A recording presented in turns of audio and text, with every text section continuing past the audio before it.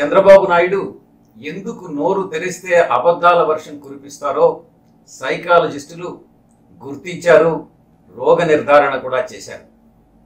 జన్యువుల్లోనే ఉండే ఈ అసహజ రుగ్మత వల్ల నిరంతరం కట్టుకథలల్లుతూ అసత్యాలే నిజమని నమ్మించే ప్రయత్నం చేస్తారట ఈ వ్యాధిగ్రస్తులు. చంద్రబాబు నాయుడు ఈ మానసిక వైకల్యాన్ని ప్యాథలాజికల్ లయింగనని పిలుస్తారు. లక్ష మందిలో ఒకరికి వచ్చే ఈ రుగ్మత నుంచి బయటపడడానికి ప్రయత్నించి కొంతమంది సక్సెస్ అయిన వారు కూడా ఉన్నారు.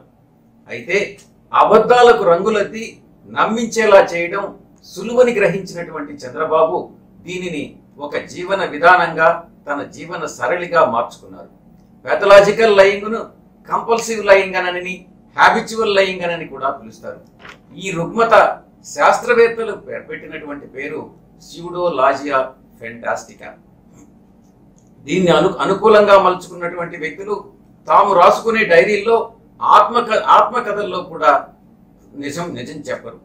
తమను తాము ఉన్నత వ్యక్తి వ్యక్తులుగా వ్యక్తిత్వం కలవారిగా సమాజంలో పరివర్తన కోసం తప్పిస్తున్నటువంటి వారిగా ప్రదర్శించుకుంటారు.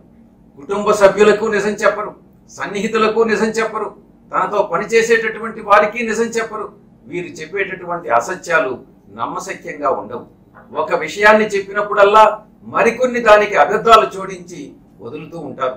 తుఫాన్ను సైతం తన ప్రభావం తగ్గించానని సముద్రాన్ని కంట్రోల్ చేస్తున్నట్టు కోతలు కోయడం అమరావతిలో ఒలింపిక్స్ నిర్వహిస్తాననడం రైతులకు నోబెల్ ప్రైజ్ వస్తే నూరు కోట్ల నజరానా ఇస్తాననడం సెల్ ఫోన్ కనిపెట్టింది తానేనని ఐటీని పాపులర్ చేసింది తానేనని సాఫ్ట్వేర్ ఇంజనీర్లను అమెరికా పంపింది తానేనని ఇలా కథలు కథలుగా అల్లడం సైకలాజికల్ ప్యాథలాజికల్ బయలాజికల్ లైంగిక ప్రభావం.